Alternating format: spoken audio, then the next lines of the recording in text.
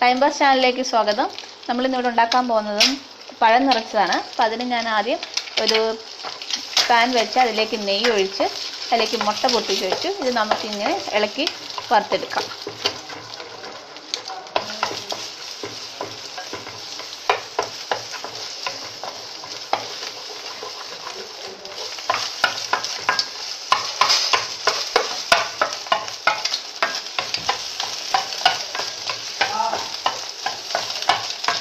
Okay നന്നായിട്ട് നമ്മൾ ഇത് പൊരി എടുത്ത് തരി തരിയായിട്ട് നല്ല ഇളക്കി പൊരിച്ചെടുക്കണം നമുക്കൊരു മീഡിയം ഫ്ലെയിമിലേക്ക് മാറ്റിയിട്ട് നല്ല തരി തരിയായിട്ട് മുട്ട വറുത്തെടുക്കാം.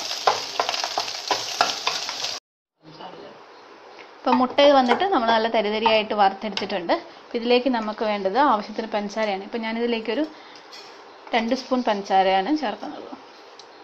കാരണം പഴത്തിന് ഓൾറെഡി നല്ല മധുരമുണ്ട്. നല്ല പഴുത്ത പഴമാണ് ഞാൻ എടുത്തിരിക്കുന്നത്. അപ്പം അതുകൊണ്ട് ഇതിലേക്ക് രണ്ട് സ്പൂൺ പഞ്ചസാര ഇട്ടു. അതിലേക്ക് നമുക്ക് ഏലക്കപ്പൊടി ചേർക്കാം.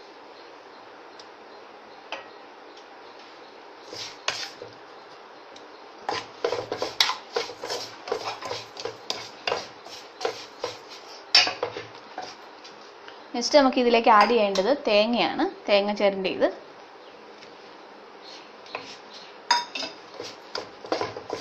നന്നായിട്ട് ഒന്ന് മിക്സ് ചെയ്തെടുക്കാം.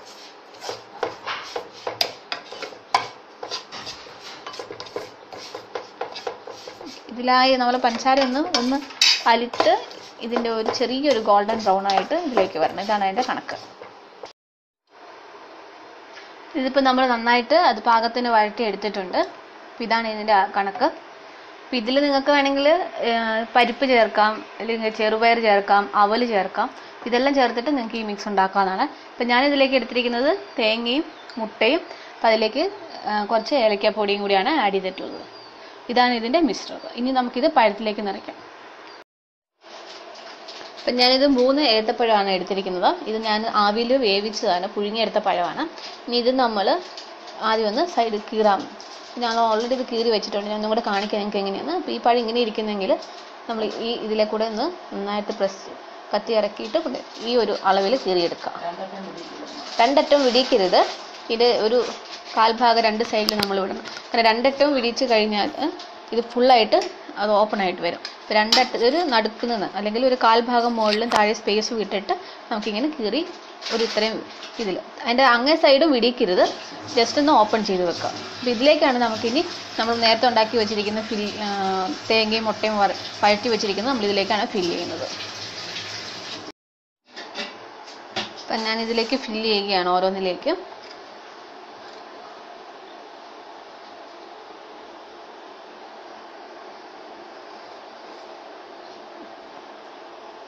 നല്ലതായിട്ട് ഇറക്കി വെക്കുക. ഇത് പൊട്ടാതെ ശ്രദ്ധിക്കണം.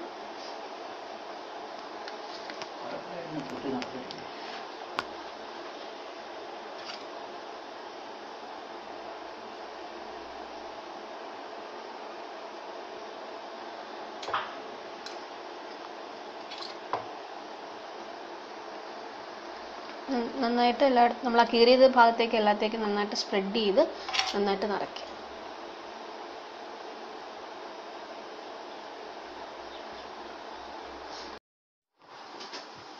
അടുത്തത് നമുക്ക് ചെയ്യേണ്ടത് അപ്പോൾ ഇതിലേക്ക് നമ്മൾ എടുത്തിരിക്കുന്നത് രണ്ട് സ്പൂൺ മൈദയാണ്. അത് കുറച്ച് വെള്ളം ഒഴിച്ച് കലക്കി അതിലേക്ക് ഒരു അര സ്പൂൺ പഞ്ചസാര ഇട്ട് നമ്മൾ മിക്സ് ചെയ്ത് വെച്ചിരിക്കുന്നതാണ്. ഇതെന്തിനാന്ന് വെച്ച് കഴിഞ്ഞാൽ നമ്മൾ ആ ഫില്ല് ചെയ്ത ഭാഗം ഒന്ന് അടയ്ക്കാൻ വേണ്ടിയിട്ടാണ്. അതിന് ശേഷം വേണം നമുക്കത് എണ്ണയിൽ ഫ്രൈ ചെയ്തെടുക്കാനായിട്ട്. ഇത് നന്നായിട്ട് ഈ ഒരു പാകത്തിന്. ഒത്തിരി വെള്ളമായി പോകരുത്. അത് അരയ്ക്കാവുന്ന രീതിയിൽ അവിടെ സ്റ്റിക്കായിട്ട് നിൽക്കുന്ന രീതിയിൽ വേണം നമ്മളത് കുഴച്ചെടുക്കാനായിട്ട്. അപ്പോൾ നമ്മൾ ഇതിന്റെ കൂട്ട് റെഡിയാക്കിയിട്ടുണ്ട്. അപ്പോൾ ഇതിലേക്ക് മൈദയും കുറച്ച് ഒരു അര സ്പൂൺ പഞ്ചസാരയും വെള്ളവും ചേർത്ത് ഞാനൊരു കാര്യം പറയാൻ വിട്ടുപോയി. ഒരു നുള്ളു ഉപ്പും കൂടെ ചേർത്തിട്ട് വേണം ഇത് നമുക്ക് കുഴച്ചെടുക്കാനായിട്ട് ഈ ഒരു പാകത്തിൽ ഇനി അടുത്ത് നമുക്ക് ചെയ്യേണ്ടത് നമ്മൾ ഈ പഴം എടുക്കാം. ഈ പഴത്തിൽ നമ്മൾ ഫില്ല് ചെയ്തിരിക്കുന്നത് നമ്മൾ കൈയുടെ ഈ വിരൽ വെച്ചിട്ട് നന്നായിട്ട് പ്രസ് ചെയ്ത് ഉള്ളിലേക്ക് കൊടുക്കാം. ഓക്കെ ഉള്ളിലേക്ക് കൊടുത്തിട്ട് രണ്ട് സൈഡിൽ നിന്ന് ഇങ്ങനെ പ്രസ് ചെയ്യും എന്നിട്ട് വേണം നമ്മൾ ഇതിന്റെ ഈ തൊലി ഉരുത്തിയെടുക്കാനായിട്ട് കാരണം അല്ലാതെങ്കിൽ അത് പൊട്ടിപ്പോവും. അതുകൊണ്ടാണ്. അപ്പോൾ സാവധാനം നമുക്ക് ഈ തൊലി മാറ്റാം.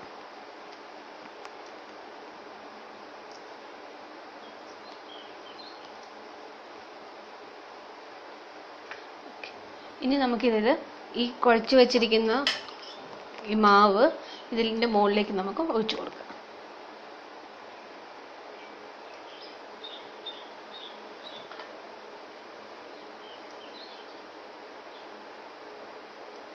ഇതൊന്ന് ക്ലോസ് ചെയ്യാം. നമ്മൾ അത് ഓപ്പൺ ചെയ്ത് പഴത്തിന്റെ ഓപ്പൺ ചെയ്ത ഭാഗം ഒന്ന് ഈ മാവ് ഉപയോഗിച്ചൊന്ന് ക്ലോസ് ചെയ്ത് കൊടുക്കുക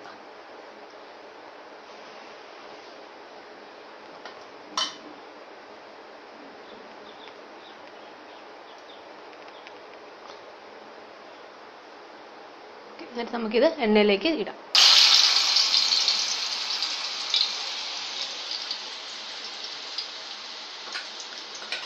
പിന്നെ ഇടുമ്പോൾ ചേർന്നിട്ട് തുറന്നിട്ടുണ്ടെങ്കിൽ ചെറുതായിട്ട് അതിന്റെ മുകളിൽ കൂടെ ഒന്ന് ഒഴിച്ച് നമുക്ക് ആ ഫില്ലിങ് ക്ലോസ് ചെയ്യാം.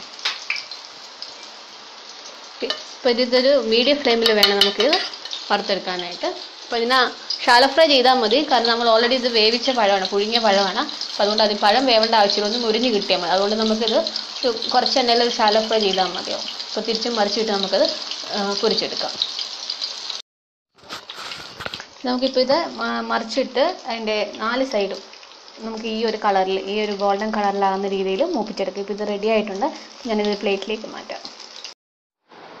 അപ്പോൾ ഞാൻ മുറിച്ചിട്ടുണ്ട്. നമുക്ക് നിങ്ങൾക്ക് ഇതിന്റെ അകത്തെ ഫില്ലിങ്സ് എല്ലാം നല്ല കറക്റ്റായിട്ട് വന്നിട്ടുണ്ട്. നിങ്ങളെല്ലാവരും തീർച്ചയായിട്ടും ട്രൈ ചെയ്യണം. വളരെ ടേസ്റ്റിയാണ് വളരെ എളുപ്പത്തിൽ ചെയ്യാവുന്ന ഒരു ഡിഷാണ് നിങ്ങൾക്ക് ഇത് ഇഷ്ടമായിട്ടുണ്ടെങ്കിൽ തീർച്ചയായിട്ടും അറിയിക്കുക. അപ്പോൾ അത് കൂടാതെ ലൈക്ക് ചെയ്യുക ഷെയർ ചെയ്യുക. അതോടൊപ്പം എന്റെ ചാനൽ ദയവായിട്ടൊന്ന് സബ്സ്ക്രൈബ് ചെയ്യുക. നിങ്ങൾക്ക് നോട്ടിഫിക്കേഷൻ ലഭിക്കാനായിട്ട് അടുത്തുള്ള ബെൽ ബട്ടൺ ഒന്ന് പ്രസ് ചെയ്യുക. താങ്ക്